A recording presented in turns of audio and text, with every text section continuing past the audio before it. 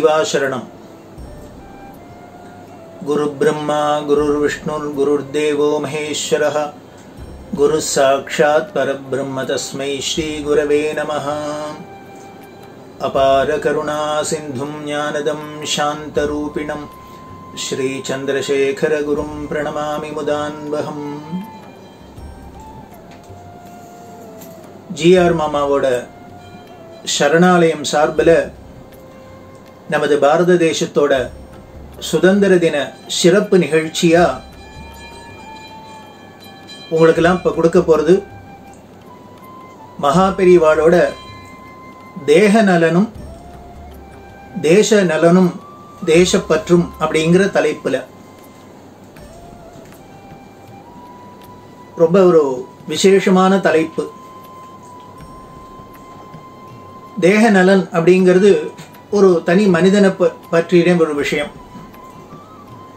அதே தேச நலம் அப்படிங்கிறது எல்லா ஜனங்களும் சேர்ந்த ஒரு இடத்துக்கு பேர் தானே தேசம். அதனால அந்த தேக நலனா இருக்கட்டும் தேச நலனா இருக்கட்டும் ரெண்டுமே ஒன்றை ஒன்று சார்ந்தது.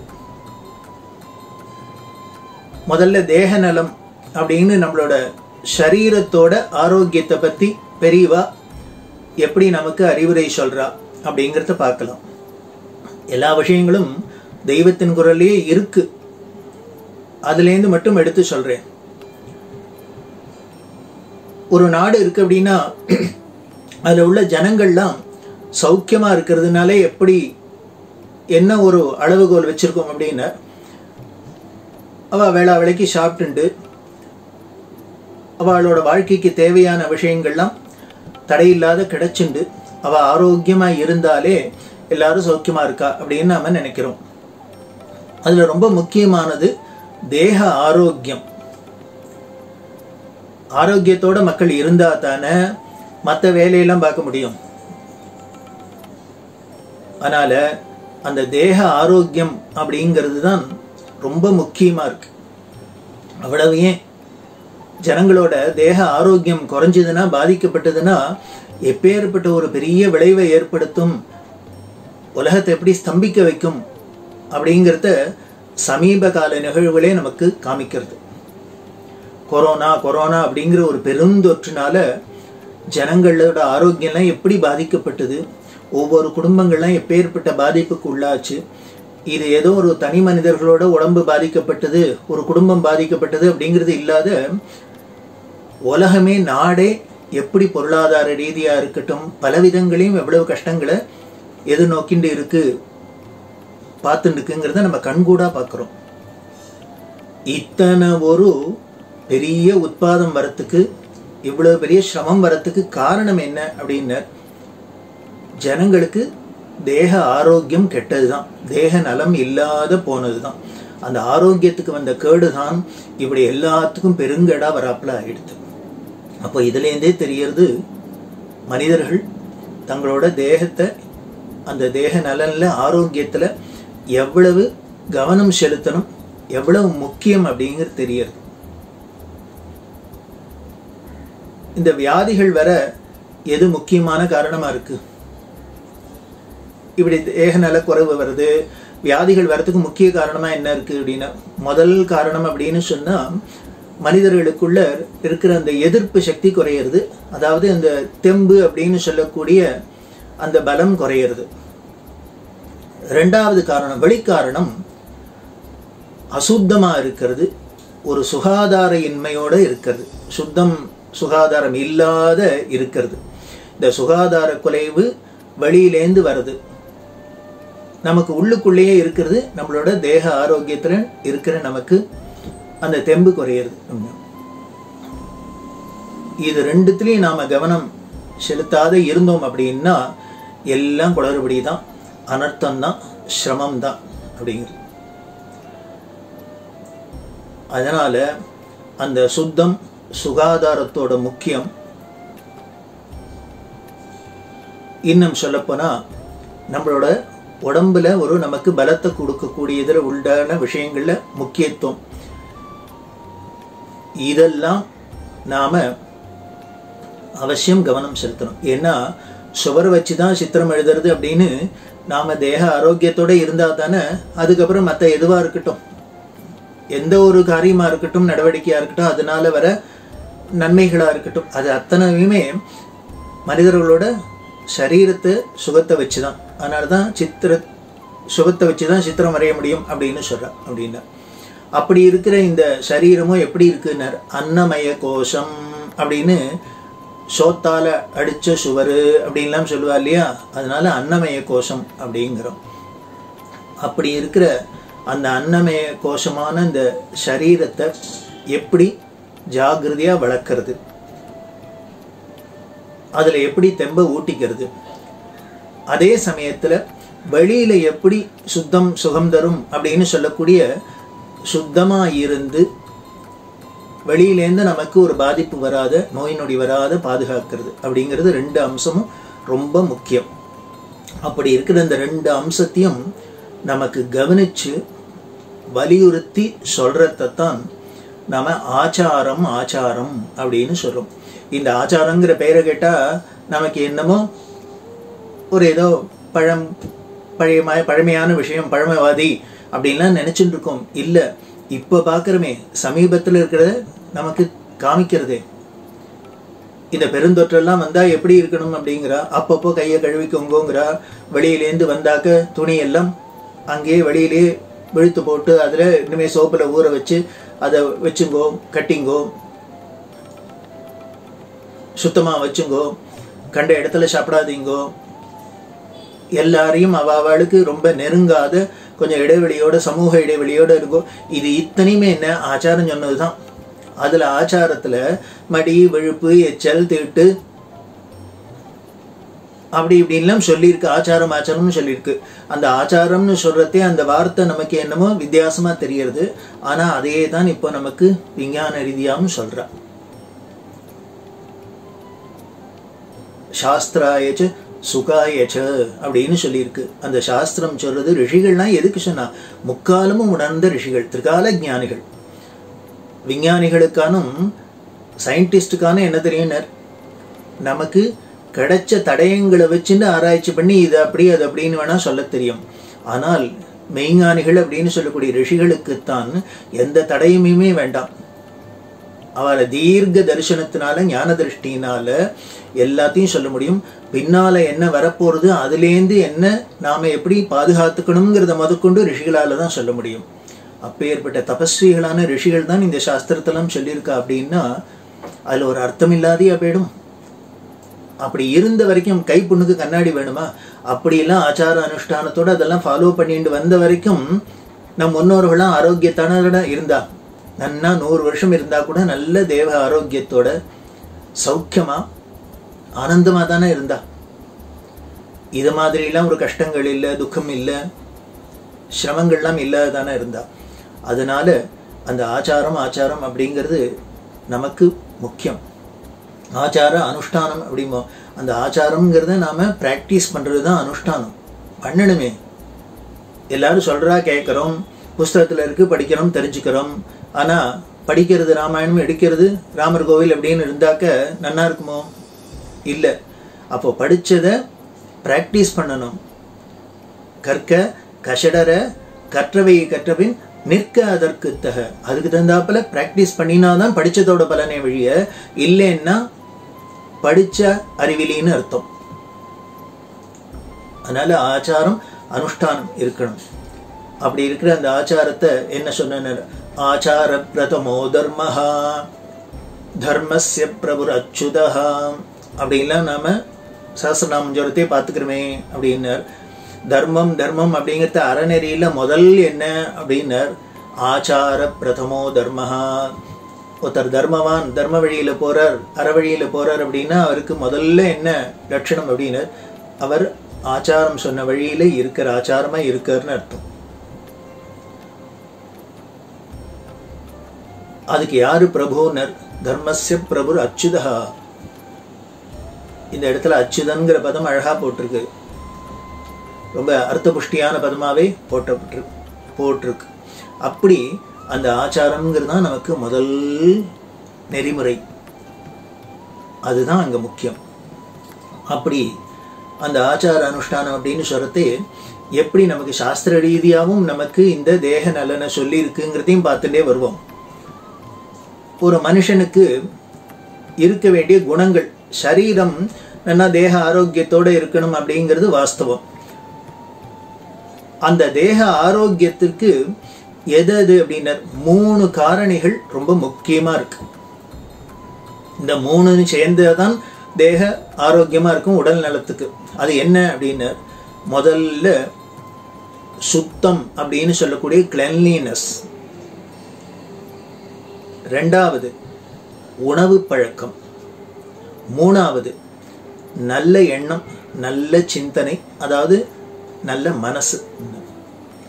சரீரம் மட்டும் நல்லா அழகாக இருந்ததுனாக்க தெ- இருந்தால் போருமா இந்த மனசு நல்ல மனசு இல்லைன்னா பிரயோஜனம் இல்லையே. ஸோ அதனால் நல்ல உடல் தேக ஆரோக்கியமும் இருக்கணும். அதுக்கு ஏற்றாப்புல நல்ல ஆரோக்கியமான எண்ணமும் இருக்கணும் சிந்தனையும் இருக்கணும். இது ரெண்டுத்துக்கும் காரணமா இருக்க போறது உணவு பழக்கம். இதைத்தான் நமக்கு விரிவா தெளிவா திருப்பி திருப்பி சொல்கிறான் அதுல வந்து மனிதனுக்கு குணம் குணம் அப்படின்னு சொன்னா அந்த நல்ல குணமானா இருக்கிறதுக்கு எப்படி அப்படின்னு? அப்படி இருக்க வேண்டியது எட்டு விதமா சொல்லியிருக்கு. எட்டு விதமான குணநலன்களை மனிதனுக்கு இருக்க வேண்டியதா நமது சாஸ்திரம் சொல்றது. இதே தான் ஆத்ம குணம் ஆத்ம குணம் அப்படின்பா. அந்த எட்டு குணம் என்ன அப்படின்னா ஒண்ணு தயை. தயைன்னா தெரியும் எல்லாருக்கும். இரக்கம். எல்லாத்தையும் எல்லா ஜீவராசிகள்ட்டும் ஒரு ஈவ இறக்கெடுத்தோடு இருக்கிறது. அன்புனும் சொல்லலாம். அந்த தயை. ரெண்டாவது க்ஷாந்தி. க்ஷாந்தின்னா வேற ஒன்றும் இல்லை பொறுமைன்னு அர்த்தம். பொறுத்தார் பூமி ஆழ்வார் அப்படின்னு சொல்கிறாலே அந்த பொறுமை.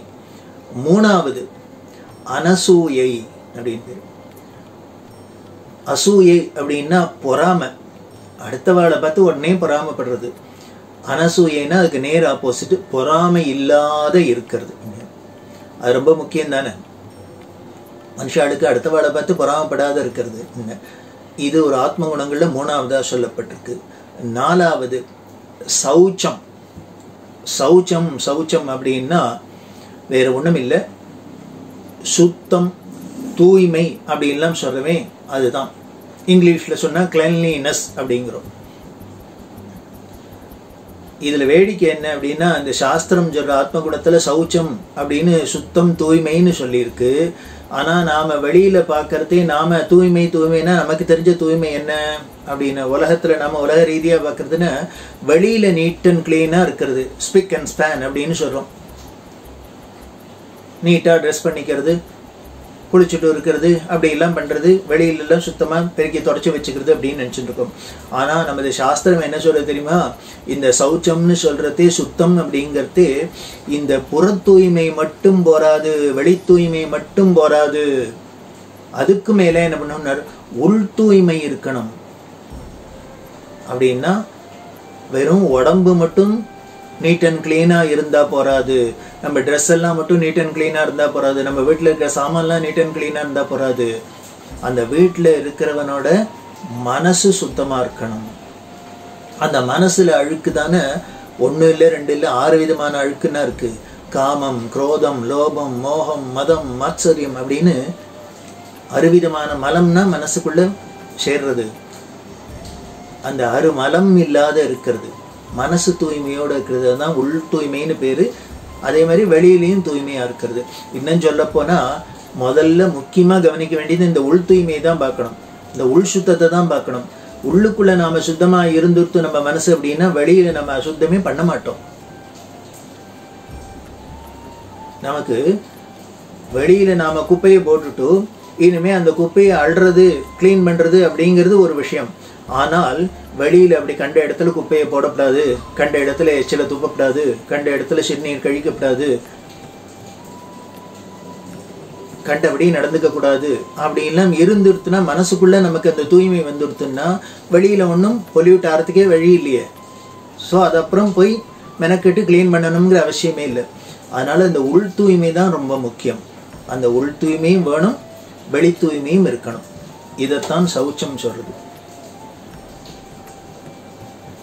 பாஹ்ய அபியந்தர சுச்சிஹி மானசம் வாச்சிகம் பாபம் கர்மணா சமுபார்ஜிதம் ஸ்ரீராம ஸ்மரணேனேவ வியபோகதி நசம்சேகா அப்படின்னு நாம் ஒவ்வொரு கர்மாக்கள்லாம் பண்ணுறதே நாம் சங்கல்பம் பண்ணிக்கிட்டே சொல்கிறோமே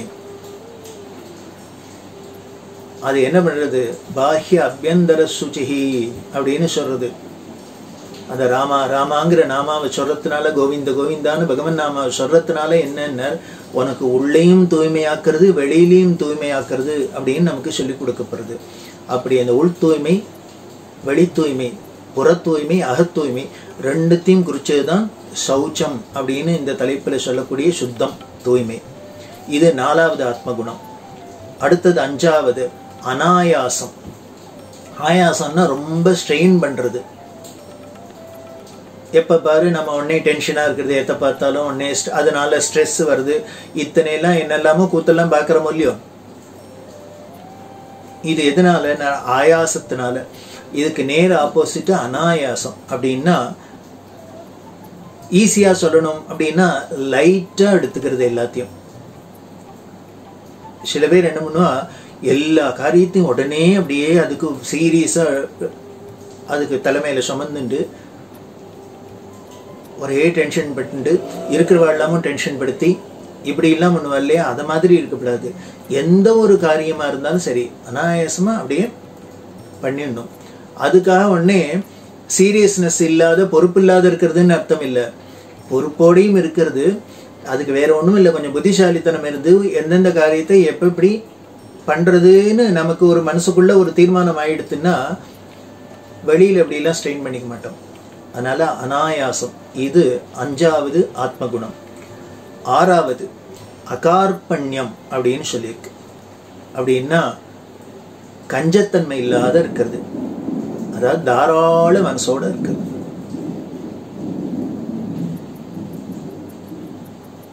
சில பேருக்கு எத்தனை கோடி கோடியா இருந்தாலும் கஞ்சத்தனம் இருக்கும் இல்லையா? இருக்கிறத அடுத்த அடுத்தவாடு கொடுக்கறதுக்கு கஞ்சத்தனம் வரும். அப்படி இருக்கக்கூடாது அகார்பண்யம் அப்படின்னு என்ன கஞ்சத்தன்மை இல்லாத இருக்கிறது தாராள மனசோட இருக்கிறது.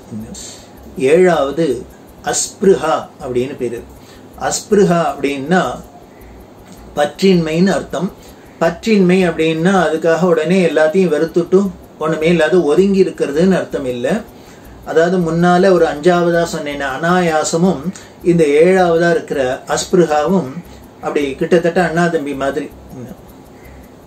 அதாவது ரொம்ப போய் ஈஷாத இருக்கிறது. எல்லாத்தோடையும் இருக்கு. தாமரையில் தண்ணி அப்படின்னு வேணா வச்சுக்கலாம். தாமரை தாமரையில் தண்ணியிலேயே தான் பிறந்து வளர்ந்து எல்லாம் இருக்கு. ஆனால் தண்ணி ஒட்டாத இருக்கு இல்லையோ? அதுக்காக தண்ணி ஓட்டப்படாதுங்கிறதுக்காக அது வெளியிலேயே போய் இருக்கு? இல்லை. அது மாதிரி நாம இந்த சம்சாரத்திலேயே இருக்கிறது இந்த உலகத்திலேயே இருக்கிறது எல்லாத்தோடையும் இருக்கிறது. ஆனால் ஏதிலையும் ஈஷி ஈஷிண்டு அது நம்மளை பாதிக்காத இல்லை நாம அதை பாதிக்காத ஒரு அப்படி தடுக்க அதை மேனேஜ் பண்ணிட்டு போறது. அதுக்காக பொறுப்பு இல்லாத இல்லை தடுக்காக மேனேஜ் பண்ண போகிறது அதுதான் அஸ்பிருகா அப்படின்னு. கடைசியா எட்டாவது மங்களம் அப்படின்னு பேரு. இந்த மங்களம் அப்படிங்கிறதுக்கு ஒன்றும் எக்ஸ்பிளனேஷனே வேண்டாம். எப்படின்னர்? அழுமூஞ்சி மாதிரி இல்லாத கம்பீரமா இருக்குது. சில பேரை பார்த்தாலே அவளோட பர்சனாலிட்டி பார்த்தாலே நமக்கு ஒரு இன்ஸ்பிரேஷன் வரும். அடுத்த வாளுக்கு ஒரு முன்னுதாரணம் மாதிரி வாழ்ந்து காமிக்கிறது. அதுதான் மங்களம். இப்படி இந்த தயையிலேருந்து மங்களம் வரைக்கும் எட்டதான் ஆத்மகுணம் ஆத்மகுணம் அப்படின்னு நமக்கு சாஸ்திரம் சொல்லியிருக்கு. இந்த எட்டு ஆத்மகுணத்தையும் வளர்க்கறதுக்குத்தான் வளர்க்கறது தான் நம்ம உடல் நலம். அப்படி இருக்கிறது தான் ஹெல்த்தி மேன் அவன் தான் கம்ப்ளீட் மேன் அப்படின்னு சொல்லலாம்.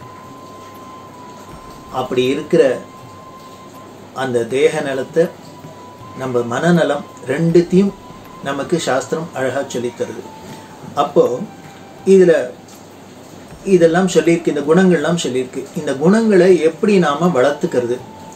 அது எதனால் வளர்க்கப்படும் எதனால் பாதிக்கப்படும் அப்படின்னா உணவு பழக்கத்தினால தான் உணவு தான் இதெல்லாம் நம்மளை தீர்மானம் பண்ணுறது அது ரொம்ப முக்கியம். சாப்பாடு சாப்பாடு அப்படின்னா நாம் ஏதோ சரீரத்தை வளர்க்குறதுக்கு பசியை ஆத்திக்கிறதுக்கு அப்படின்னு நினச்சிட்டு இருக்கோம். இல்லை. அந்த உணவு பழக்கம் ரொம்ப முக்கியம். இன்னும் சாஸ்திரம் சொல்றது நமக்கு வயல்ல விளைஞ்சு வரத்துலேருந்து யாரெல்லாம் சம்பந்தப்பட்டிருக்காளோ அதுல எந்தெந்த மனோபாவத்தோட அவ அந்த இடத்துல இதுங்கிறாளோ அதாவது ஏர் உழறதே சரி விதை விதைக்கிறதே சரி நீர் பாய்ச்சறதே சரி அறுவடை பண்றதே சரி அதை மார்க்கெட்டில் கொண்டு வந்து விற்கிறதே சரி நாம் போய் அதை வாங்குறதே சரி அதை பக்குவம் பண்ணுறதே சமைக்கிறதே சரி இதில் யாரெல்லாம் சம்மந்தப்பட்டிருக்காளோ அப்பப்போ அந்த சமயத்தில் என்ன மனோபாவத்தோட என்ன உணர்ச்சிகளோட அதில் அவ ஸ்பர்ஷம் பண்ணுறாளோ தொடராளோ அந்த குணநலங்கள்லாம் அதில் ஒட்டுமா? அப்போ என்ன பண்ணும் அப்படின்னு இப்போ நினச்சி பாருங்க நாம ஏதோ நாம இனிமே கல்டிவேட் பண்றோம் பயிர் பண்ணுறோம் இனிமே வியாபாரம் பண்றோம் சமையல் பண்றோம் அப்படின்னு நினைச்சுட்டு இருக்கோம் இது எவ்வளவு தூரத்துக்கு மற்றவாளோட குணத்தை பாதிக்கும் மனசை பாதிக்கும்னு தெரிஞ்சுக்கணும். அதனால அதனால தான் சொல்லுவா எந்த ஒரு நல்ல காரியம் பண்ணுறதையும் அந்த காலத்தெல்லாம் சொல்லுவா லேடிஸ்லாம் சமைக்கிறதே பகவன் நாமாவை சொல்லிட்டு சமைக்கிறது நல்ல விஷ்ணு சஹஸ்ரநாமத்தை லலிதா சஹஸ்ரநாமம் இது மாதிரி பகவன் நாமாவை ஸ்தோத்திரங்களை சொல்லிட்டு சமையல் பண்ணுறது சாப்பாடு போடுறது சாப்பிட்றதே கோவிந்த கோவிந்தான்னு சொல்லிட்டு பகவன் நாமாவை சொல்லிட்டு சாப்பிட்றது. அதே மாதிரி வேலை செய்கிறதே எல்லா இடத்துலையும் என்ன பண்ண நல்ல இந்த நாட்டுப்புற பாடல்கள்லாம் பார்த்தா எவ்வளவோ நல்ல விஷயங்கள்லாம் தான் அந்த பாடல்கள்லாம் எளிமையாக சொல்லப்பட்டிருக்கு. இதெல்லாம் பாடிட்டு ஆடி பாடி வேலை செஞ்சால் அலுப்பு தெரியாது அப்படிங்கிறாளோ இல்லையோ? அதுதான் அங்க ஒரு பெரிய மனோதத்துவ ரீதியான விஷயங்களா இருக்குது அதுக்கு இந்த சாஸ்திரம்லாம் தான் ஆரா ஆதாரம். அவள் சந்தோஷமாக ஹாப்பியாக உழுது பயிரிட்டு எல்லாம் பண்ணினாள்னா அதை சாப்பிட்றவாளுக்கும் மனசு சந்தோஷமாக இருக்கும் ஹாப்பியாக இருக்கும். இதெல்லாம் ரொம்ப முக்கியம். அதனால இந்த உணவு பழக்கம் அப்படிங்கிறது தான் நம்மளோட குணத்தை நமக்கு கொடுக்கறது தீர்மானம் பண்றது. அப்படி இருக்கிற அந்த உணவு பழக்கம் ரொம்ப முக்கியமானது. அதுல அந்த உணவு பழக்கத்தை அந்த உணவைத்தான் என்ன பண்ணுறது வேதம் சொல்லிடுத்து அதுக்கு மேலே நாம ஏதோ வெறும் சாப்பாடு அப்படிங்கிறோம். ஆனா வேதம் சொல்றது உபனிஷத் சொல்றது அந்த அன்னந்தான் பிரம்மம் அப்படிங்கிறது. பிருகுங்கிற மகர்ஷி தன்னோட பிதாவான வருணன்ட்ட போய் கேட்குற எது பிரம்மம்? அப்படின்னு. எது ஈஸ்வரன் கடவுள்னு சொல்லுறது? அப்படின்னா நீனே தெரிஞ்சுக்கோ தவம் பண்ணி தெரிஞ்சுக்கோ தவத்தினால தெரிஞ்சுக்கோன்னு அப்பா உபதேசம் பண்ண. அதுல அவர் தவத்தினால கண்டுபிடிக்கிறது என்னென்ன? முதல்ல என்ன கண்டுபிடிச்சன?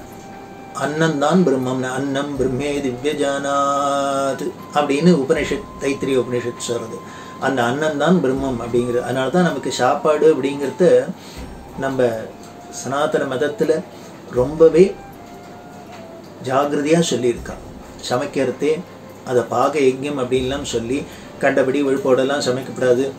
கண்ட இடத்தெல்லாம் சமைக்கிறது இல்லை சாப்பிட்றது இல்லை இது மாதிரிலாம் ஒரு கட்டுப்பாடெல்லாம் வச்சிருக்கிறதுக்கு காரணம் அதனால தான் அந்த உணவுலேயும் உணவு வகைகளையும் எப்படி இருக்குன்னு மனுஷனுக்கு முக்குணம் அப்படின்னு சொல்லக்கூடிய மூணு விதமான குணங்கள் இருக்கு. சத்வகுணம் ரஜோகுணம் தமோகுணம் அப்படின்னு அந்த உணவு பழக்கம் எப்படி இருக்கணும் அப்படின்னு இந்த சத்வகுணத்தை வளர்க்கிறதா இருக்கணும். அதுக்கு நமக்கு அனுகூலமா எதை எதெல்லாம் கொடுக்குமோ அந்த விஷயங்களை தான் நாம எடுத்துக்கணும். கரிகாயா இருக்கட்டும் இனிமே தானியங்களா இருக்கட்டும் எதுவா இருக்கட்டும் நாம சாப்பிட்ற ஆகாரத்துல சத்துவப்பிரதமான சத்துவகுணத்தை வளர்க்கக்கூடிய விஷயங்களை எடுத்துக்கணும். ரஜோகுணம் தமோ குணங்களை வளர்க்கக்கூடியதை தவிர்க்கணும் அப்படின்னு சொல்றது. அதுதான் சாத்வீகமான உணவு முறை அப்படின்னு சொல்றோம். அதையே தான் நம்ம மரக்கறி சைவ உணவு வகை அப்படின்லாம் சொல்றோம். இந்த ரஜோகுண தமோகுணத்தை தவிர்க்கணும் அப்படின்னு சொல்றது சில பேருக்கு சில கருத்து வேறுபாடெல்லாம் இருக்கிறோம். உதாரணத்துக்கு சொன்னோம் அப்படின்னா நமது சாஸ்திரத்தில் இந்த இந்த கரிகாலாம் சாப்பிடலாம் இன்ன இன்னைக்கு சாப்பிடலாம் சாப்பிடக்கூடாது அப்படின்லாம் சொல்லியிருக்கு. குறிப்பாக புரியிறாப்புல சொன்னோம்னா பூண்டு வெங்காயத்தெல்லாம் அவாய்ட் பண்ணணும் அப்படின்னு சொல்லுது உடனே கேட்கலாம். இந்த பூண்டு வெங்காயம்லாம் மருத்துவ குணம் நிரம்பினதாக இருக்குது அதையே போய் அவாய்ட் பண்ணும் அதெல்லாம் சேர்த்துனா நல்லது அப்படின்னு. வாஸ்தவம் தான். அதில் ஒரு நல்ல குணமும் இருக்குது ஆனால் அதை விட பெருசாக என்ன இருக்குன்னர்?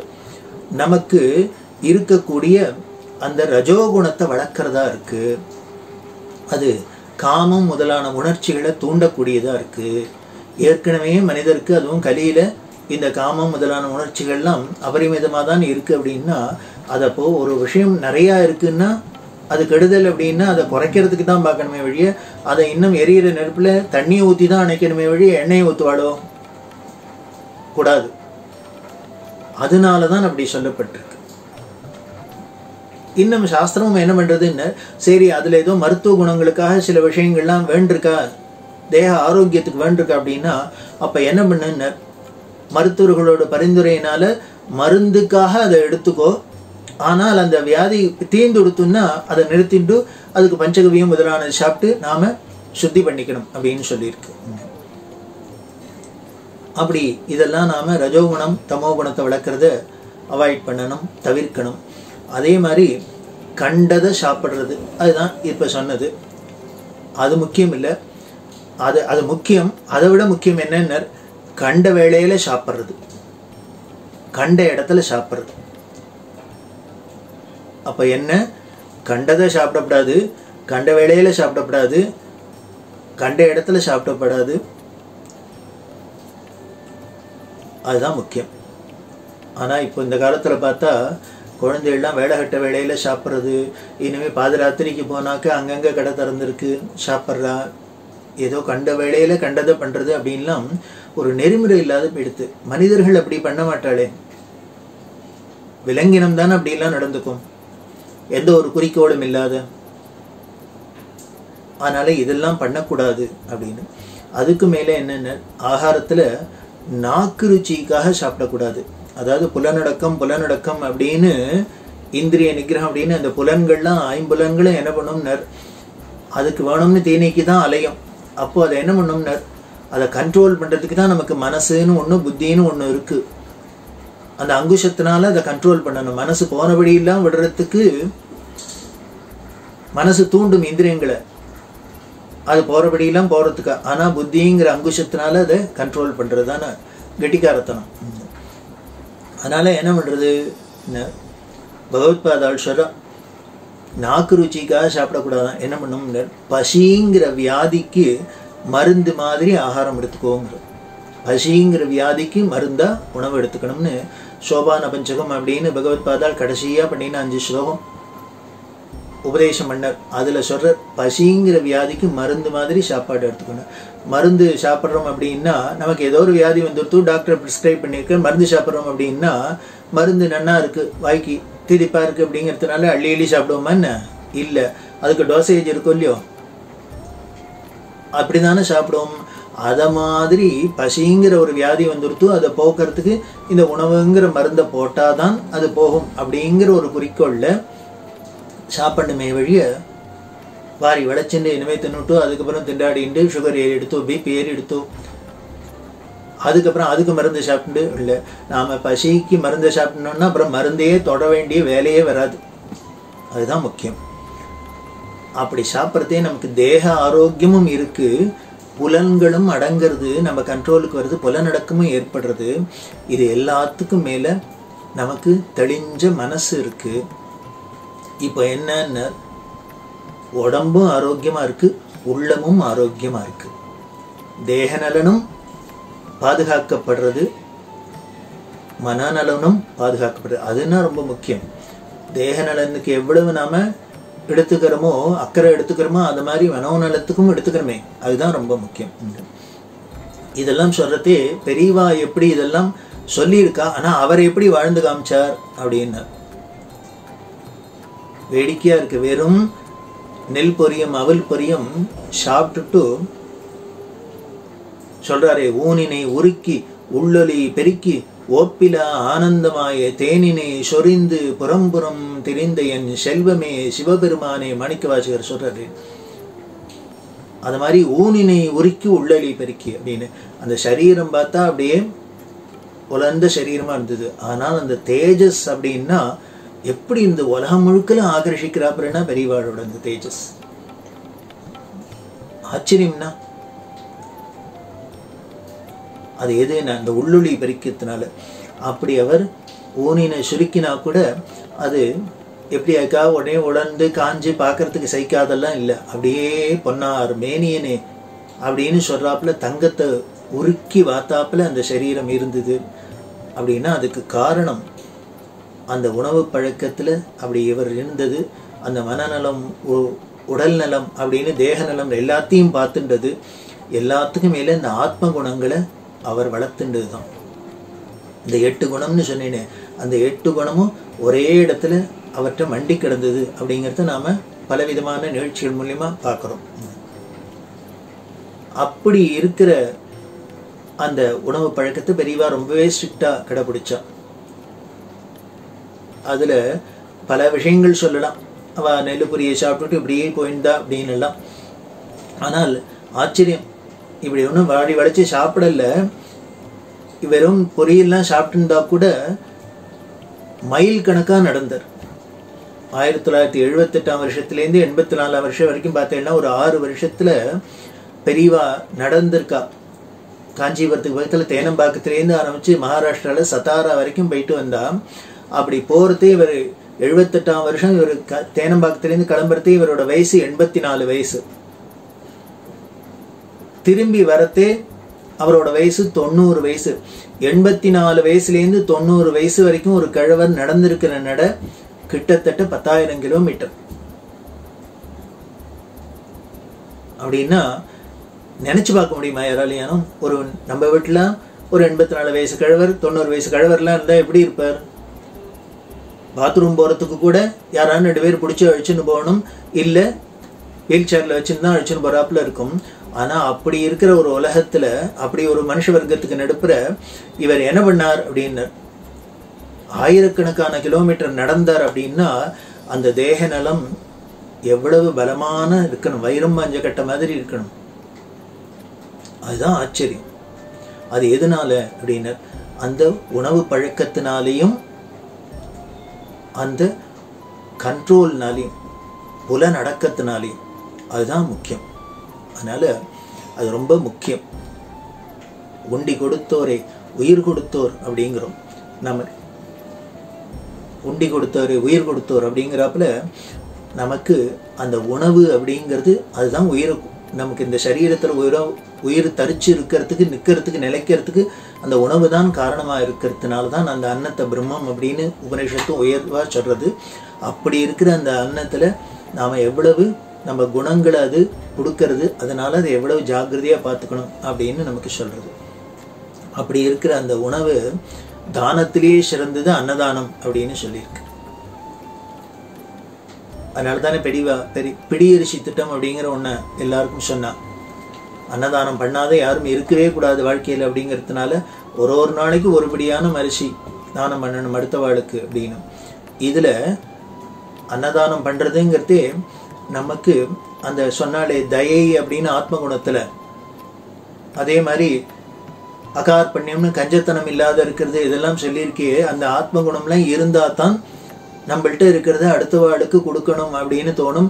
இல்லாத வாழை பார்த்து ஒரு இரக்கம் ஏற்படும். உடனே நாம ஓடி போய் உதவி செய்யணும்லாம் தோணும். அதுக்காக தான் இது மாதிரி திட்டங்கள்லாம் பெரியவா சொன்னான் அப்படின்னு. அப்படி இந்த உணவு பழக்கத்தை பத்தி சொல்றதே இன்னொரு முக்கியமான விஷயம் சொல்கிறா ஸ்வயம்பாகம் அப்படிங்கிற ஒரு நமக்கு சொல்லப்பட்டிருக்கு. அதாவது ஸ்வயம்பாகம் அப்படின்னா நாமளே சமைச்சு சாப்பிடுறது. இது எதுக்கு சார்? அப்படின்னா வேற ஒண்ணும் இல்லை. இந்த நாக்கு அடக்க புலனை அடக்கிறதுக்கு தான். நாம யாரோ நமக்கு சமைச்சு போடுறா அப்படிங்கிறதுனால தான் இஷ்டத்துக்கு வாரி வளைச்சு சாப்பிட தோன்றது அது மட்டும் இல்லை அதில் குத்தம் குறையெல்லாம் சொல்கிறோம் இதில் உப்பு போடல இதில் புளிப்பு போடல அப்படி இருக்குது இப்படி இருக்குது நாளைக்கு அப்படி பண்ணு இப்படி பண்ணு எல்லாம் மெனு கொடுக்குறோம். இதே நாமளே பண்ணி சாப்பிட்டோம்னாக்க இப்படிலாம் குறை சொல்ல விடுமோ நம்மளே நாம் குறை சொல்லிக்குமோ? இல்லை. எப்படியா இருந்தாலும் சரின்னு சாப்பிட்ருவோம் இது சொல்கிறதே சுயம்பாகத்தை பற்றி சொல்கிறதே ஒரு நிகழ்ச்சி ஞாபகம் வருது. பெரியவாள்கிட்ட ஒருத்தர் வந்து பேசின்னு இருக்கார் நல்ல ஆச்சார அனுஷ்டானம் உள்ளவர். அவர்கிட்ட கேட்டால் சரி உன் சம்சாரம் வெளியூர்களுக்கு போயிருந்தானே நீ சாப்பாட்டுக்கு என்ன பண்ணுவ? வெளியில் வெளியில் போய் சாப்பிடுவியோ? அப்படின்னா இல்லை இல்லை நான் அங்கெல்லாம் போய் வெளியிலாம் சாப்பிட்றது இல்லை அப்படின்னா அப்போ சாப்பாட்டுக்கு என்ன பண்ணுவேன் இல்லை நானே சமைச்சு விடுவேன். அப்படின்னு ஓ உனக்கு சமையல்லாம் தெரியுமா? அப்படின்னு என்ன பெரிய காரியம்? நான் ஒரு சாத்தை வடித்தேன்னா குக்கரை வச்சா போச்சு. அப்படின்னு ஏன்னா வெறும் சாத்தை வடிச்சாக்க அப்புறம் நேற்று போட்டுன்னு சாப்பிட்றது அப்படின்னு? இல்லை அவள் பருப்படி இருப்படி பண்ணி வச்சுட்டு போவா ஒரு ஊறுகாய் பருப்படி தானே வச்சுட்டு போவா அப்படின்னு. சரி அதனால் என்ன பண்ணுவேன் அப்படின்னு சாத்தை வடிச்சுப்பேன் பருப்பொடியை போட்டு பிசைஞ்சு சாப்பிட்ருவேன் என்ன வெறுமனை எப்படி சாப்பிடுவேன் தொண்டையை அடைக்காதோன்னு. இல்லை தயிர் இருக்கும் தயிரை தொட்டுன்னு சாப்பிட்ருவேன் அப்படின்னு. சரி அப்புறம் தயிர் சாத்துக்கு பிசைஞ்சா அதுக்கு தொட்டுக்கிறதுக்குன்னு பருப்பொடியை போட்டுக்கிறேன் அப்படின்னு. இதை கேட்ட உடனே பெரியவாளுக்கு ஆச்சரியம். எங்கெங்க திருப்பி சொல்லு திருப்பி சொல்லு அப்படின்னு. இவர் பருப்படியை போட்டு பிசைஞ்சுட்டு தயிரை தொட்டுன்னு சாப்பிடுவாராம். அப்புறம் தயிரை போட்டு பிசைஞ்சுட்டு பருப்படியை தொட்டுன்னு சாப்பிட்றேன் அப்படின்னார். பெரியவா சிரிச்சுட்டு சொல்கிறா பாரா நானே எல்லாரும் சிம்பிளாக உணவு பழக்கத்தை வச்சுக்கணும். சுயம்பாகம் பண்ணணும் சிம்பிளாக இருக்கணும் எளிமையாக இருக்கணும்னு சொன்னால் இவன் எனக்கு மேலே சிம்பிளாக இருக்கான்.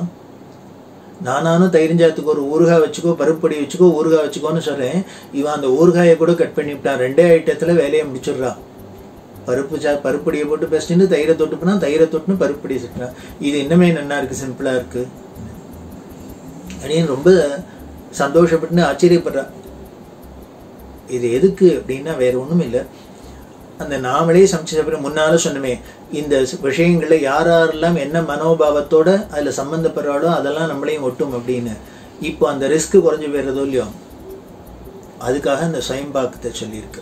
இப்படி இந்த உணவு பழக்கத்தை நமக்கு ரொம்ப முக்கியமாக சொல்லி அந்த உணவு பழக்கம் சரியாக இருந்துருத்தனாலே நமக்கு உடம்பும் ஆரோக்கியமாக இருக்கும் மனசும் ஆரோக்கியமாக இருக்கும் அப்படின்னு சொல்லுது அதுக்கு மேலே மட்டும் இது நின்னுள்ள. இதுக்கு மேல ஒரு முக்கியமான விஷயம் இருக்கு. ஏதோ உணவு பழக்கம் சாப்பிட்டுட்டு மட்டும் சும்மா இருக்கிறது இல்லை. அந்த தேக ஆரோக்கியத்துக்கு இன்னொன்று முக்கியமா என்னென்ன உடற்பயிற்சி. பொதுவா எல்லாரும் என்ன நினச்சிட்டுருக்கா சும்மா எல்லாரும் சாப்பிட்டுட்டு தொப்பையை தடவிண்டு வாட்டுக்கு உட்காந்துருக்கிறது தான் அவளுக்கு வேலை அப்படின்னு. இல்லை. சாஸ்திரம் அதையும் வலியுறுத்தி சொல்றது. அதைத்தான் பூர்த்த தர்மம் பூர்த்த தர்மம்னு சொல்லியிருக்கு. அதை பெரியவா ரொம்ப வலியுறுத்தி சொல்ல பூர்த்த தர்மம் அப்படின்னா பொதுவாக சொல்லணும் அப்படின்னா பொதுநல பணிகள் அப்படின்னு அர்த்தம். குறிப்பாக சொல்லணும்னா குளம் வெட்டுறது இன்னும் இது மாதிரி பொது காரியங்கள்லாம் இருக்கு இல்லையா? உழவாரப்பணி குளம் வெட்டுறது இது மாதிரிலாம் பல விஷயங்கள்லாம் இருக்கு. அதாவது சமூகத்துக்கு உபயோகமா இருக்கிறாப்புல எல்லாருக்கும் உபயோகப்படுறாப்புல பல சரீர உழைப்பினால பண்ண வேண்டிய காரியங்கள்லாம் இருக்கு. அதெல்லாமும் பண்ணணும் அப்படின்னு சொல்லிருக்கு உடல் உழைப்பும் ரொம்ப அவசியம்னு சொல்லியிருக்கு. இன்னும் ரொம்பவே ஸ்ட்ரிக்டா சொல்றா. பெரியவா சாஸ்திரங்கள்லாம் என்ன சொல்றது அப்படின்னு இவர் பூர்ணமா வேதாத்தியானம் பண்ணி பெரிய வித்வானா இருந்து யாகங்கள்லாம் பண்ணி பெரிய தீட்சிதராக இருந்தா கூட வயல்வெளியில போய் போய் தோட்டந்தரவுல போய் இவாளும் சரீரத்தினால ஏதானும் பிரயாசப்பட்டு வேலை செய்யணும் அப்படின்லாம் சொல்லியிருக்கு. பெரியவாசரா அந்த காலத்துலாம் இருந்திருக்கா. இன்னமும் கர்நாடகத்துல இன்டீரியரா இருக்கிற இடத்துலாம் இப்படி பெரிய வேத வித்துக்கள்லாம் கூட போய் வயல்ல எல்லாம் வேலை செய்யறதுலாம் இன்னமும் பழக்கத்தெல்லாம் இருக்கு. அதனால இவன் ஏதோ சாப்பிட்டு சாப்பிட்டுட்டு வெறுமனை உட்காந்துன்றது கால் நீட்டுன்னு உட்காந்துறதான்னு இல்லை. சரீரத்தினாலையும் உழைப்பு இருக்கு. அவசியம் செய்யணும். அதுல பெரியவாசரா இன்னும் சொல்ல போனா இன்னொரு முக்கியமான நமக்கு ஒரு குறிப்பு காட்டுறா. சில ஒரு குறிப்பிட்ட காலத்துல பார்த்தா ஒரே பொன் குழந்தைகளா ஜாஸ்தி பிறந்திருந்தது. புள்ள புத்திர பிரஜைகள்லாம் பிறக்கிறது குறைச்சலா இருந்து அதுக்கு காரணம் சொல்லலாம். இந்த ஆண்கள்லாம் வெறும் உட்கார்ந்த இடத்துலயே உட்காந்து சாப்பிட்டு சாப்பிட்டு உட்காந்து வேலை செஞ்சிருந்தாள்னா இப்படிதான் என்ன பண்ணும்னர்? அந்த ஆண் குழந்தைகள் பிரஜைகள் பிறக்கிறது குறைஞ்சு போயிடும். அந்த ஆண்மை குறையும். அதனால என்ன பண்ணும்னர்? ஆண்கள்லாம் நன்னா ஃபிசிக்கல் எக்ஸசைஸ் பண்றாப்புல ஓடி ஆடி வேலையும் செய்யணும் அப்படின்னு. இதெல்லாம் சொல்கிறதே பார்த்தா எனக்கு தற்காலத்தில் ஒர்க் ஃப்ரம் ஹோம்ங்கிறா எல்லாரும் கம்ப்யூட்டர்லேயே உட்காந்து சேர்லேயே உட்காந்துட்டு செய்கிறதுனால தான் இப்படிலாம் பலவிதமான பிரச்சனைகள்லாம் கண்கூடாக நமக்கு தெரியுது. பெரியவா எப்போ சொல்லியிருக்கா இதெல்லாம் ரீசன் இதனால இது வரும் அதனால இது வரும்னு சொல்லியிருக்கா ஆனால் இன்னைக்கு நடைமுறையில் பார்த்தா அதெல்லாம் உண்மையாக தெரியறது. பல பேருக்கு கல்யாணமாகி எத்தனை நாள் ஆனாலும் குழந்தைகள் பிறக்கல அப்படி இனிமேல் புள்ள குழந்தை பிறக்கல இப்படி எல்லாம் பல விதத்தில் பிரச்சனைகள்லாம் இருக்கு. இதுக்கெல்லாம் காரணம் என்ன? உடல் உழைப்பு இல்லை உடல் பயிற்சி இல்லை. அதனால் அவசியம் உணவு பழக்கத்தோட உடற்பயிற்சியும் இருக்கணும். அப்படி இருந்தாதான் தேக நலம் நன்னா இருக்கும். தேகம் ஆரோக்கியமாக இருக்கும். அப்படி இருக்கிறதே மனசும் ஆரோக்கியமா இருக்கும். இந்த மனநலனுக்கும் தேக நலனுக்கும் இந்த உணவும் உடற்பயிற்சியும் ரொம்ப முக்கியம் அப்படின்னு சொல்லி அதுல எல்லோரும் கவனம் செலுத்தணும். குறிப்பா இளைஞர்கள்லாம் கவனம் செலுத்தணும் அப்படின்னு தான் பெரியவா தேக நலனை பத்தி சொல்கிறா அடுத்தது தேச நலனை பற்றி பார்த்தாக்க பல விதத்துல சொல்லியிருக்கா. அதுல குறிப்பா சில விஷயங்களை சொல்லணும் அப்படின்னு ஆசைப்படுறேன். தெய்வத்தின் குரல் ஏழாவது வால்யூம்ல பார்த்தீங்கன்னா அரசு அப்படிங்கிற தலைப்புல சொல்றா. அதே மாதிரி நாலாவது வால்யூம்ல உத்தரமேரு உத்தம தேர்தல் அப்படிங்கிறதுல சொல்றா. இதெல்லாம் ரொம்ப முக்கியம். இது தேச நலனுக்கு இதெல்லாம் தான் முக்கியம். தேசம்னாலே என்ன? தேச நலனா இருக்கு? நன் நல்லா இருக்கு அப்படின்னா என்ன? அப்படின்னார். ஒன்றும் இல்லை இந்த தேசத்தாள்ற ராஜாங்கம் நன்னா இருந்தால்தான் தேச நலம். எப்படி? ஒரு குடும்பம் நன்னா இருக்குன்னா குடும்பத்தில் உள்ள அந்த ஜனங்கள்லாம் உள்ளுக்குள்ளே வீட்டுக்குள்ளே இருக்கிறவாள்லாம் ஆரோக்கியமாக இருந்தால் வீடு நல்லா இருக்குங்கிறாப்புல. நாடு நல்லா இருக்குது அப்படின்னா நாட்டில் உள்ள பிரஜைகள்லாம் நல்லவாளா இருந்து நல்ல ஆரோக்கியமாக இருந்தாலும் சரி அதுக்கு மேலே இவாளை நல்லவாளா வைக்க வேண்டியது யாருன்னா ஆட்சி பண்ணுற ராஜாங்கத்தோட கடமை. அவா எப்படி நல்லவாளாக இருக்கணும்? அதுக்கு நமக்கு பல விதத்தில் சாஸ்திரங்கள் மூலியமாக பெரியவா அதில் சொல்லியிருக்கா. அந்த இது சொல்றதே ஒண்ணு ஞாபகம் வருது. முத்துராமலிங்க தேவர் சொன்னார் அப்படின்னு தேசமும் தெய்வீகமும் எனக்கு இரு கண் அப்படின்னு சொன்னார் இல்லையா? அதை போலதான் பெரியவாளுக்கும் பெரியவாளுக்கும் அதே கொள்கை தான் தேசமா இருக்கட்டும் தெய்வீகமா இருக்கட்டும் ரெண்டும் ஒண்ணுதான். வேடிக்கை என்னன்னா அந்த தேசமே தெய்வீக தேசமா இருந்தா அந்த அரசியலே ஆன்மீக அரசியலா இருந்தா நிச்சயம் அந்த தேசம் நன்மையாக தான் இருக்கும் நல்ல விதமாக தான் இருக்கும் அப்படின்னு. அதுக்கு இந்த தெய்வத்தின் மூலம் பல விஷயங்கள் சொல்லியிருக்கா. அதில் ராகணபதி ரொம்ப ஆச்சரியப்பட்டு சொல்றார் ஆயிரத்தி தொள்ளாயிரத்தி நாற்பத்தஞ்சாம் வருஷம் சில விஷயங்கள் சொல்லியிருக்கா அப்புறம் ஆயிரத்தி தொள்ளாயிரத்தி நாற்பத்தொம்போதாம் வருஷம் சில விஷயங்கள்லாம் சொல்லியிருக்கா.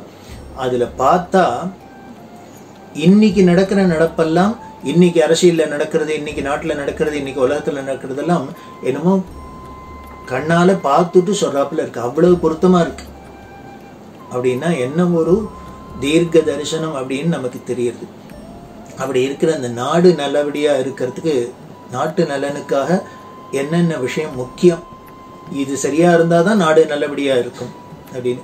எப்படி பிரஜைகளுக்கு நல்ல ஆரோக்கியமான நல்ல மனசோட நல்ல தேக ஆரோக்கியத்தோட ஜனங்கள்லாம் இருந்தா நாட்டுக்கு நல்லதும் அது மாதிரி இந்த அரசாங்கம் எப்படி இருக்கணுங்கிறதையும் பெரிவாக குறிப்பிட்டு சொல்கிறான் அது நமக்கு பாரம்பரியமாக எப்படி வந்திருக்கு அப்படின்லாம் சொல்கிறான் அதில் முக்கியமான விஷயம் என்ன அப்படின்னா இப்போ தற்காலத்தில் ஜனநாயகம் குடியாட்சி அப்படிங்கிறது ரொம்ப பிரபலமாக இருக்குது உலகம் முழுக்கலும் அதுதான் பிரசித்தமாக இருக்குது ஆனால் நாம என்ன நினைச்சிட்டு இருக்கோம் இந்த ஜனநாயகம் குடியாட்சி அப்படிங்கிறது எங்கேயோ மேல்நாட்டிலேருந்து வந்தது.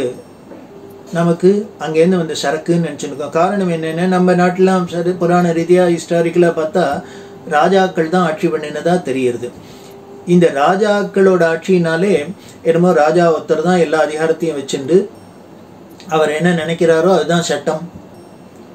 அவர் என்ன சொல்றாரோ அதுபடி தான் நட பிரஜைகள்லாம் நடக்கணும்.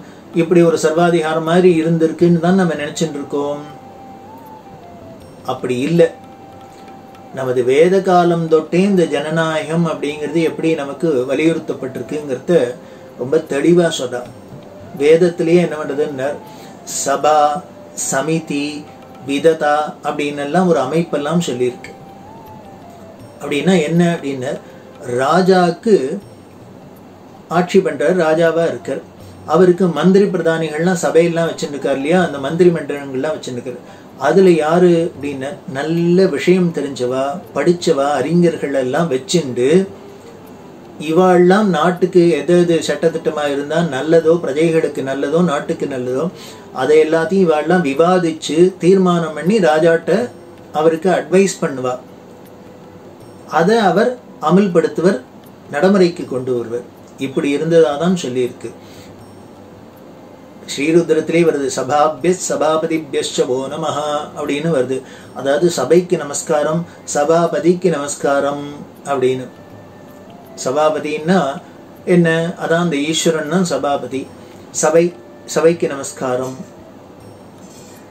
இப்படிலாம் சொல்லியிருக்கு. அதனால வேதத்திலேயே நமக்கு இந்த ஜனநாயகம் அப்படிங்கிறது இந்த டெமோக்ரஸிங்கிறது சொல்லியிருக்கு. அதுல என்ன ஆச்சரியம் என்ன அப்படின்னா இந்த சபையில இருக்கிறவெல்லாம் வெறும் அந்தனர்களாக தான் பிராமணர்களாக தான் மட்டும் இருக்கணும் அப்படின்னு இல்லை. அது சில மேல்நாட்டு ஆராய்ச்சியாளர்கள்லாம் என்ன பண்ணுறாங்க வேணும்னு குசும்புத்தனமாக அதெல்லாம் இருந்தா கூட அதுலேயும் எல்லாம் பிராமின்ஸே டாமினேட் பண்ணிட்டு ராஜாவை கைக்குள்ளே போட்டுன்னு தாங்க நினச்சிடலாம் சாதிச்சுண்டா அப்படின்னு. அப்படி இல்லவே இல்லை. அந்த சபையில சமிதி எல்லாம் எல்லா வர்ணத்தவர்களுக்கும் இடம் கொடுக்கப்பட்டிருக்குன்னா நமக்கு தெரியுது அதனால எல்லாரும் கலந்து சமுதாயத்தில் உள்ள எல்லாருக்கும் ஒரு ரெப்ரசன்டேஷனோட எல்லாம் இருந்து தான் பண்ணப்பட்டிருக்கு. அப்படின்னு தெரியுது. இது எல்லாத்துக்கும் மேல பிற்கால சோழர்கள் அப்படின்னு சொல்ல அதாவது சோழர்களே முற்கால சோழர் பிற்கால சோழர் அப்படின்னு சொல்லுவா. இது கிமு மூணு நாலாம் நூற்றாண்டுல எல்லாமே மூவேந்தர்கள்னு இருந்தா சேர சோழ பாண்டியர்கள் இருந்தான்னு சொல்லியிருக்கு. இவாளெல்லாம் பற்றி சங்க இலக்கியங்கள் எல்லாமே நமக்கு ரெஃபரன்ஸ் எல்லாம் வருது. புராண ரீதியாகவும் பார்த்தாலே ரொம்ப பிரபலமான ராஜாக்கள்லாமும் இருந்திருக்கா. திருவாரூரில் பார்த்தா மனுநீதி சோழன் இருந்திருக்கார். அப்புறம் இன்னும் சரித்திரத்தில் ரொம்ப பிரபலமான கரிகார் சோழன் இது மாதிரிலாம் பல பேரை பார்க்குற மூலியம். அப்படிலாம் இருந்த அந்த சோழ பேரரசு முற்கால சோழங்கிறதுலாம் அடிபட்டு பாண்டியர்களோட ஆதிக்கம் அப்புறம் பல்லவர்களோட ஆதிக்கம்லாம் வந்து அதுக்கப்புறம் ஒன்பதாம் நூற்றாண்டில் விஜயாலய சோழன் அப்படிங்கிறவனால திருப்பி இந்த பிற்கால சோழர் ஆட்சி திரும்பி வலுப்பெற்று வந்தது. அப்படி வந்து அந்த ஒன்பதாம் நூற்றாண்டுல வந்து அந்த பிற்கால சோழர்கள்ல விஜயாலனுக்கு அப்புறம் பராந்தக சோழன் அப்படிங்கிற ராஜா ஆட்சி பண்ணினார். இவரோட காலம் கிபி தொள்ளாயிரத்தி இருபது. அந்த பராந்தக சோழன் காலத்துல இது ராஜா தான் முடியாட்சி தான் இவர் என்ன வேணா சட்டம் போடலாம் என்ன வேணா தீர்மானம் பண்ணலாம். ஆனால் அப்படி இருந்த அந்த மன்னர்களோட முடியாட்சியில் இந்த பராந்தக சோழன் காலத்தில் என்ன பண்ணியிருக்கா? கிராம சபை அப்படின்லாம் சொல்கிறோம் இல்லையா?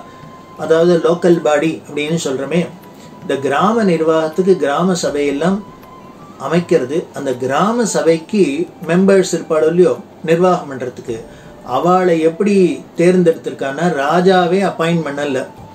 பண்ணாத அந்த ஊர் ஜனங்களே இந்த நகர சபைக்கு கிராம சபைக்கு உள்ள மனுஷால தேர்ந்தெடுக்கிறா எப்படி தேர்ந்தெடுக்கிறான குடவோலை முறை அப்படின்னு எலெக்ஷன் சிஸ்டத்தில் தேர்ந்தெடுக்கிறதுரா நமக்கு தெரியுது இது எப்படி தெரிய வருது அப்படின்னா காஞ்சிபுரத்துக்கு பக்கத்தில் உத்தரமேரூர் அப்படின்னு இருக்குது அந்த உத்தரமேரூர் கோவிலில் கல்வெட்டு இருக்குது ரெண்டு கல்வெட்டு இருக்குது அந்த கல்வெட்டு தான் இந்த குடவோலை முறையை பற்றி சொல்கிறது பராந்தக சோழன் காலத்தில் இந்த கிராம சபைகளுக்கு எப்படி நிர்வாகம் பண்ணுறவாள்லாம் தேர்ந்தெடுக்கப்பட்டா அப்படின்னு.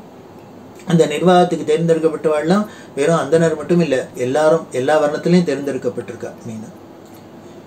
இப்போ வந்து ஒவ்வொரு ஊரையும் வார்டு வார்டுன்னு பிரிச்சிருக்கா இல்லையா? அது மாதிரி அந்த காலத்துல ஒவ்வொரு ஊரையும் கிராமத்தையும் குடும்பு குடும்பு அப்படின்னு பிரிச்சிருக்கா.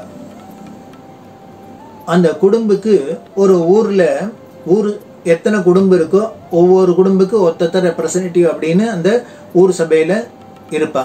அங்கத்தினர்களாக இருப்பா. அவளை தேர்ந்தெடுக்கிறது ஜனங்களால் தேர்ந்தெடுக்கப்படுறது அப்படின்னு. அப்படி அந்த ஊர் சபைக்கு இருக்கணும் அதுனா அப்படின்னா அதில் எலெக்ஷனில் நிற்கணும் அப்படின்னா அவளுக்கு சில குவாலிஃபிகேஷன்லாம் சொல்லி இந்த கல்வெட்டில் எல்லாம் விவரமாக சொல்லி ரொம்ப பெரியவா ரொம்ப ஆச்சரியப்படுறா. இப்படி ஒரு ஃபுல் ப்ரூஃப் எலெக்ஷன் சிஸ்டம் எப்போ?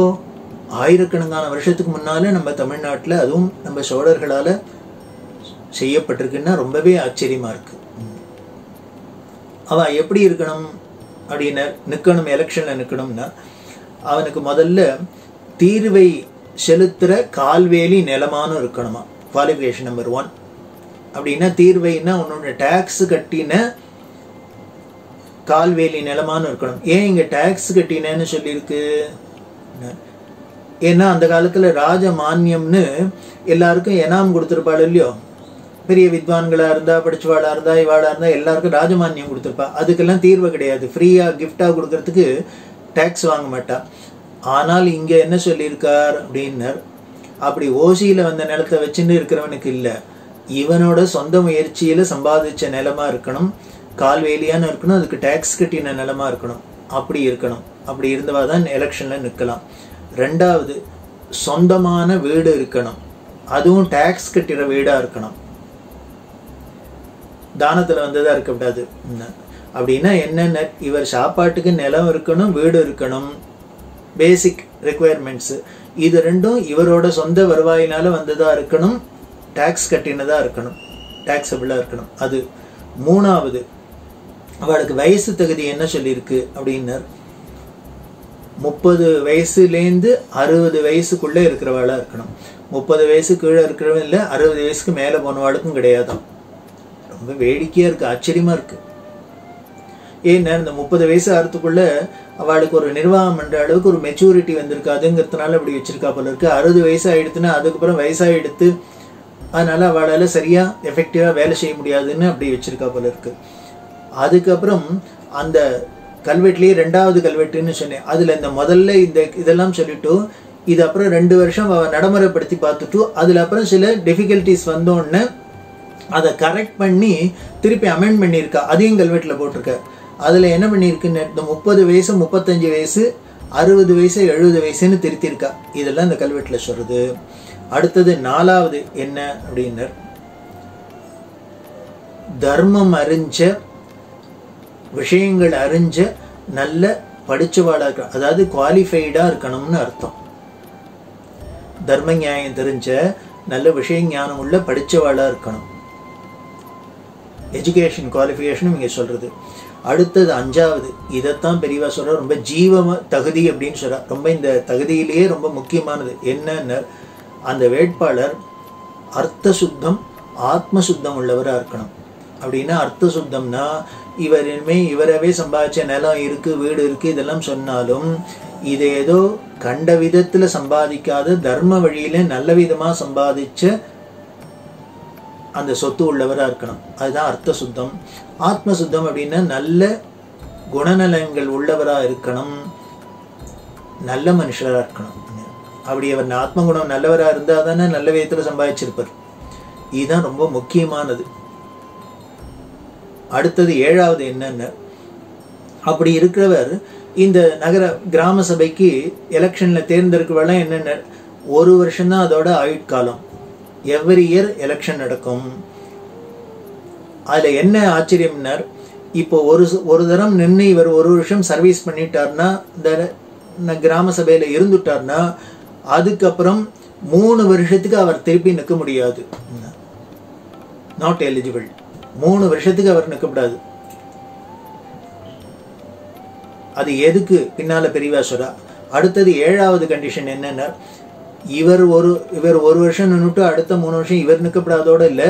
இவரோட நெருங்கின உறவினர்கள் எல்லாமும் நிற்கக்கூடாது அப்படின்னு இது எதுக்குன்னா பெரியவா சொல்கிறா ஒன்றும் இல்லை இவர் ஒரு வருஷம் இருந்து கிராம நிர்வாகம் பண்ணியிருந்தார். அந்த சபையில் இருந்து நிர்வாகம் பண்ணி அப்படி ஏதானும் தப்பி தவிர ஏதானும் தப்பு நடந்திருந்ததுன்னா ஊழல் நடந்ததுன்னா இவர் திரும்பி அவரே வந்துட்டார்னா இதை மூடி மறைச்சிடுவார். இல்லை இவரோட உறவுகாரா வந்துட்டாள்னா அவளும் மூடி மறைக்கிறதுக்கு ட்ரை பண்ணிடுவா. அதனால என்னவான்னார் அடுத்த மூணு வருஷத்துக்கு இவரும் வரப்படாது இவரோட நெருங்கின உறவுகாராலும் வரப்படாது. அப்படின்னா என்ன ஒரு எலெக்ஷன் சிஸ்டம் இப்போ இங்கே நினச்சி பார்க்க முடியுமா? இப்படியா இருக்குது நம்ம இப்போ இருக்கிற எலெக்ஷன் சிஸ்டம் இத்தனை நாட்டில் இவ்வளவு குளறுபடியாகி அரசியல்லாம் இவ்வளவு கந்தர்குலமாகி இத்தனை ஊழல்லாம் மலிஞ்சு இத்தனை விபரீதெல்லாம் ஆறதுக்கு காரணம் என்னன்னு இதை மாதிரிலாம் கண்டிஷன் இல்லாத நாம் ஒரு எலெக்ஷன் சிஸ்டம் வச்சுருக்கிறது? தான் இதைத்தான் பார்த்துட்டு பெரியவா ரொம்ப ஆச்சரியப்படுற. எப்படி இதை நாம் விட்டோம்? இதெல்லாம் விட்டுட்டு ஏதோ ஒரு இவ்வளோ ஓட்ட உள்ள ஒரு மேல்நாட்டு சிஸ்டத்தை வச்சுன்னு உட்காந்துருக்குமே அப்படின்னு.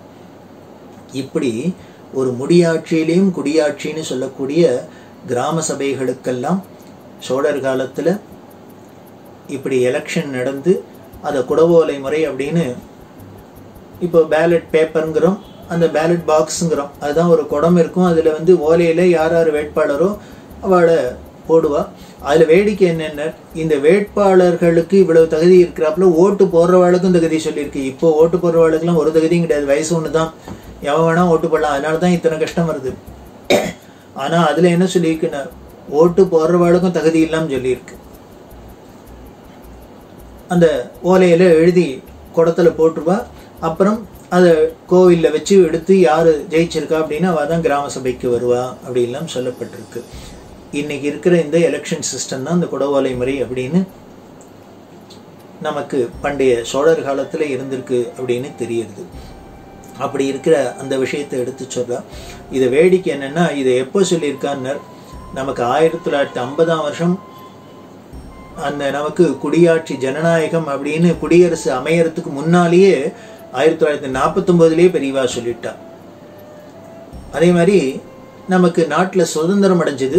சுதந்திரம் அடைஞ்ச உடனே அப்போ இருந்த சில அரசியல் தலைவர்கள்லாம் பெரியவா பக்தாளா இருந்ததுனால ஒரு சுதந்திர தினத்துக்கு ஒரு ஆசி செய்தியும் எல்லாருக்கும் அந்த சட்டசபையில் இருக்கக்கூடிய அரசாங்கத்துக்கு ஒரு ஆசி செய்தியும் கொடுக்கணும் அப்படின்னு பெரியவாள்கிட்ட கேட்டா.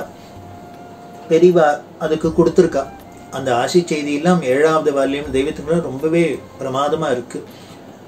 அதில் வேடிக்கை என்னன்னா அந்த பொதுவாக ஜனங்களுக்கு நாட்டில் சுதந்திரத்தை பற்றி சொன்னதெல்லாம் பப்ளிஷ் ஆகிடுது ஆனால் அந்த சட்டசபையாளுக்குன்னு அரசாங்கத்துக்காராளுக்கு கொடுத்தத அப்போது அரசியல் தலைவராக இருந்த அரசாங்கத்துக்கு தலைவராக இருந்தவருக்கு பெரியவா சொன்ன சில விஷயங்களில் இந்த ஆன்மீக விஷயங்களில் அவருக்கு ஈடுபாடு இல்லாததுனால அதை வெளியே விடலை ஆனால் ஆயிரத்தி தொள்ளாயிரத்தி எழுபத்தி ரெண்டாம் வருஷத்தில் நம்மளது நாடு சுதந்திரம் அடைஞ்ச வெள்ளி விழாம்போது கல்கியில் அதை திருப்பி பப்ளிஷ் பண்ணணும்னு சதாசிவம் ஆசைப்பட்டு ராகணவதி போய் கேட்க சொல்ல அது வந்தது.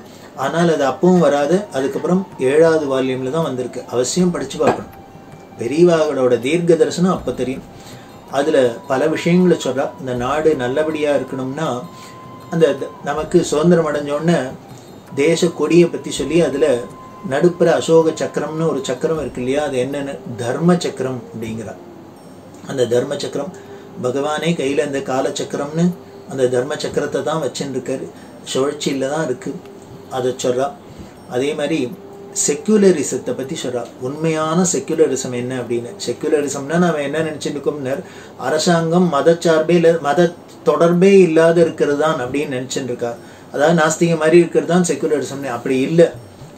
உண்மையான செக்குலரிசம் என்ன அப்படின்னார் எல்லா மதத்தையும் சமமாக அரசாங்கம் பாவிச்சு அதை ஆதரவு கொடுக்கணும். அதுதான் உண்மையான செக்குலரிசம் அப்படின்னு. அதே மாதிரி மத விஷயங்களில் அரசாங்கத்தோட பங்கு எந்த அளவுக்குங்கிறதுக்கு ஒரு வரம்பு இருக்கணும். வரம்பு மீறி மத விஷயங்களில் அரசாங்கம் தலையிடக்கூடாது. அடுத்தது நாலாவது மத கொள்கைக்கு முரணாக அரசாங்கம் ஒரு நாளும் சட்டம் போடக்கூடாது. அதாவது மதத்தில் சாஸ்திரங்களே இப்போ இப்படி தான் இருக்குன்னு சொல்லியிருக்குன்னா அதுக்கு முரணா அரசாங்கம் சட்டம் போடக்கூடாதான் அப்படி சொல்லிட்டு உடனே பெரியவா சொல்ல அப்படி மீறி ஒரு மதத்தில் உள்ள கொள்கைக்கு சாஸ்திரத்துக்கு தர்ம விரோதமாக சட்டம் போட்டால் அதுலேயும் சமநீதி காட்டணும். என்னென்ன எல்லா மதத்துலேயும் மீறி நாப்பில் போடணும். ஆனால் இப்போ அப்படியா இருக்குது இல்லை. இதெல்லாம் எப்போ? நைன்டீன் ஃபார்ட்டி நைன்ல சொல்லியிருக்கா. இன்னைக்கு நடந்துட்டு இருக்கிறத இப்படிலாம் நடந்துரும் நடக்கப்படாது ஜாக்கிரதை பண்ணணுங்கிறதுக்காக முன்னாலே பெரியவா உபதேசம் பண்ணியிருக்கான்னு தெரியுது. அப்புறம் இன்னொன்னு சொல்றா அரசு என்ன பண்ணணும் மத போஷணை மத போதனை பண்ணணும். மதத்துல எல்லா மதத்திலும் இருக்க நல்ல விஷயங்களை எடுத்து ஜனங்களுக்கெல்லாம் அரசாங்கம் சொல்லணும் எடுத்து சொல்லணும். அதுக்கு காசு பணம் செலவழிச்சு சொன்னா கூட பரவாயில்ல. ஏன்னாக்க இந்த நல்ல விஷயங்களெல்லாம் கேட்டு ஜனங்கள்லாம் நல்லவாழ ஆயிட்டாக்க நாட்டில் குற்றம் குறையெல்லாம் குறைஞ்சிடும். அப்படி குற்றம் குறையெல்லாம் குறைய ஆரம்பிச்சு கொடுத்தோம்னா அப்போதுமே போலீஸ் துறைக்கு நீதித்துறைக்கெல்லாம் செலவழிக்கிறது கணிசமாக குறைஞ்சிருமோ இல்லையோ? அதனால் அரசாங்கத்துக்கு லாபம். ஜனங்கள் மத விஷயத்தில் நல்ல விஷயங்களை கேட்டு நல்லவாளானா அதனால் அவசியம் பண்ணணும். இது காசு செலவு பணம் செலவழித்து அரசாங்கம் பண்ணால் கூட தப்பு இல்லாமே அப்படிங்கிறோம் இப்படி பல விஷயங்களை சொல்லி நாட்டு சுதந்திரத்துக்கு போராடினாப்புல நம்மளோட ஆன்மீக சுதந்திரத்துக்கும் எல்லாரும் போராடணும் அப்படின்னு சொல்லிட்டு ரொம்ப ஒரு ஆறுதலான ஒரு விஷயம் என்னன்னா நமது தேசத்தோட லட்சிய வாச்சகம் அப்படின்னு சொல்கிறாலும் இல்லையோ அது என்னென்ன சத்தியமேவ ஜெயதே அப்படின்னு தானே லட்சிய வாக்கியமாக இருக்குது அப்படின்னர். ரொம்ப சந்தோஷமாக இருக்குது ஏன்னர் இது வேத வாக்கு. உபனிஷத்தில் வர வார்த்தை. அதனால் இந்த வேத உபனிஷத்தில் வர வார்த்தையே அரசாங்கத்தோட தேசத்தோட லட்சிய வா வாச்சகமா சத்தியமே ஜெயத்தைன்னு வச்சிருக்கிறது ரொம்ப சந்தோஷமா இருக்கு அப்படின்னு சொல்றா. அப்படி இருக்கிற அந்த தேச நலன்ல அவ்வளவு அக்கறை காட்டுற பெரியவா எப்பேற்பட்ட தேசபக்தரா இருந்தார். ரொம்ப ஆச்சரியமான விஷயம். பெரியவா தரிசனம் கொடுத்துட்டு இருக்கா ஒரு கிராமத்துல இருந்தா சுதந்திர தினம் வந்துருத்தோம். அதனால அந்த ஊர் பிரமுகர்கள்லாம் வந்து என்ன பண்ணா பெரியவா அந்த ஊருக்கு வந்திருக்கா. அதனால் கொடியேற்றுறதே பெரியவா வந்து கொடியேற்றணும் அப்படின்னு பெரியவாட கூப்பிட்றா.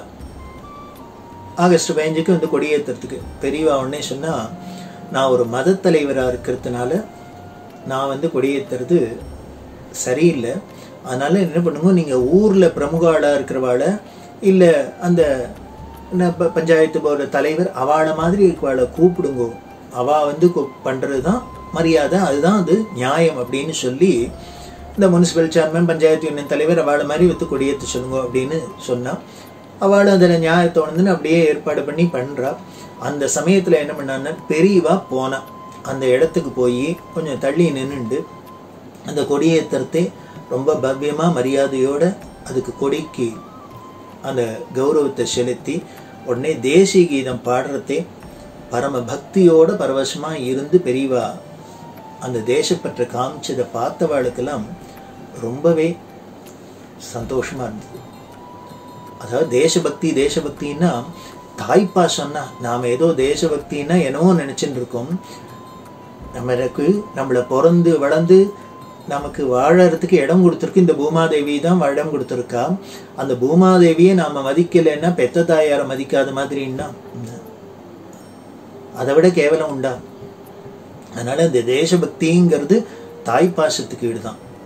சமம் தான் அதே மாதிரி இன்னொரு சுதந்திர தினத்தும் போது பெரியவா உட்காந்து மேனால தரிசனம் கொடுத்துட்டுருக்கா அப்போ ஸ்நானம் பண்ணிட்டு ஜெபம் பண்ணிட்டு இருக்கா பக்கத்தில் ஒரு ஸ்கூல் அந்த ஸ்கூலில் இருந்த குழந்தைகள்லாம் என்ன பண்ணிட்டு ஸ்கூலில் கொடியை ஏற்றிட்டு சாக்லேட்டு கிளேட்டு எல்லாத்தையும் வாங்கிட்டு கையில் ஒரு நேஷனல் ஃப்ளாக் எல்லாம் எல்லோரும் கொடுத்துட்டா. அதை எடுத்துன்னு எல்லாம் பெரியவாள்கிட்ட வந்துருத்தோம். வந்தால் அதில் ஒரு குழந்தை என்ன பண்ணிட்டு தாத்தா இன்னைக்கு வெள்ளம் அந்த சட்டையில் கொடியெல்லாம் குத்தி பாடும் இல்லையோ? அதில் ஒரு குழந்தை தாத்தா நீனும் உன்னோட து துணியில் கொத்திக்கோன்னு கொடியை நீட்டித்து. கொடியை நீட்டினோன்னு பெரியவா சிரிச்சுன்னே சொல்கிறா ஒன்று பண்ணு. அந்த கொடியை என்னோட இந்த மேனால ஒட்டிடும் அப்படின்னா. நான் இப்போ ஜெபம் பண்ணிட்டு இருக்கேன் மடியாக இருக்கேன் அதனால என்ன பண்ணி அந்த கொடியை மேனால் ஓட்டிடும் அப்படின்னு சொல்லி ரொம்ப நாளைக்கு மேனால் அந்த நேஷனல் ஃப்ளாக் ஒட்டின்னு இருந்தது. இப்படி அந்த கொடியாக இருக்கட்டும் நமது தேசமாக இருக்கட்டும் சுதந்திர தினமாக இருக்கட்டும் இதெல்லாம் பெரியவா ரொம்பவே மதிச்சிருக்கா. பெரியவாள்கிட்டேருந்து எல்லாம் கற்றுக்கிறாப்புல தேசபக்தியும் கற்றுக்கணும் அப்படி ஒரு தேசபக்தர். அதேமாதிரி சட்டம் ஒழுங்குக்கெல்லாம் அவ்வளவு கட்டுப்பட்டவா. இராணுவ வீரர்கள்லாம் வந்தால் அவள்லாம் வந்து காஷ்மீர் ஸ்ரீலங்கா முதலான ரொம்ப ப்ராப்ளம் உள்ள இடங்கள்லாம் இருக்கிறவா. தேனபக்தர் வந்து தரிசனம் பண்ணுறது அவள்லாம் பிரார்த்தனை உண்டா நாங்கள்லாம் ஏதோ உயிர பணையம் வச்சுன்னு இங்கெல்லாம் இருக்கோம். எங்களுக்கு ஒவ்வொரு நிமிஷமும் போகிறதே ரொம்ப சிரமமான காரியம்தான். அதனால் எங்கெல்லாம் சௌக்கியமாக இருக்கிறதுக்கு பெரியவா தானே உபதேசம் பண்ணும்னா உடனே பெரியவா சொல்கிறா அனுமான் சாலிசா எல்லாரும் பாராயணம் பண்ணுங்க அப்படின்னா. அதுதான் ரொம்ப முக்கியம். அவர் தான் எல்லாத்தையும் காப்பாத்துவர். அதனால் அனுமான் சாலிஸா பாராயணம் பண்ணுங்கன்னா அவ எங்களுக்கு இருக்கிற டென்ஷனில் அந்த சமயத்தில் ஹனுமான் சாலிசாலாம் பாராயணம் பண்ணுறதுக்கு தினம் முடியுமா முடியலையா தெரியல. அதனால இன்னும் ஏதானு எளிமையாக சொன்னால் அதை வேணா பண்ணுறோம் அப்படின்னு. அப்பதான் பெரியவா சொல்றா புத்திர்பலம் யசோதீரியம் நிர்பயத்துவம் அரோகதா அஜாட்யம் வாக்படுத்தும் ஹனுமத் ஸ்மரணாத் பவேத் அப்படின்னு அதையும் தூரீகிருத சீதார்த்தி பிரகடீகிரு பிரகடீகிருத ராம வைபவ ஸ்பூர்த்தி தாரித தசமுக கீர்த்தி புறத்தோ மம பாதோ ஹனுமதோ மூர்த்தி அப்படின்லாம் இதெல்லாம் சொல்லி இதெல்லாம் சொல்லுங்க அப்படின்னு. இப்படி தேசமா இருக்கட்டும் அந்த தேசத்தில் உள்ள சட்ட திட்டங்களா இருக்கட்டும் அது அத்தனையும் எல்லா பிரஜைகளும் மதிக்கணும். ஆனால் அந்த சட்ட திட்டங்கள்லாம் எப்படி இருக்கணும்னர்? அரசாங்கத்தில் உள்ளாலும் தர்மத்திற்கு விரோதமா சட்டத்திட்டங்கள் சொல்லக்கூடாது போடக்கூடாது அப்படின்லாம் சொல்லி ரொம்பவே அழகா எல்லாத்தையும் உபதேசம் பண்ணியிருக்கா. அப்படி உபதேசம் மட்டும் பண்ணாத தானும் வாழ்ந்து தான் காமிச்சிருக்கா கடைபிடிச்சு காமிச்சிருக்கான்னு தெரியுது. அப்படி இருக்கிற அந்த தேக நிலையிலையும் தேச நிலையிலையும் நாம் எல்லோரும் அக்கறையோடு இருந்து பெரியவாட்ட பக்தி பண்ணி பெரியவா சொன்ன வழியில் நாம் தேக நலன் தேச நலன் ரெண்டுத்தையும் பேணி பாதுகாப்போம். இந்த சுதந்திர தினத்தில் நமது பழம்பெரும் தேசமான பாரத தேசத்தையும் நம்மளோட பெருமையும் சனாதன மதத்தையும் நாம் எல்லோரும் பாராட்டி கொண்டாடுவோம். வந்தே மாதரம்.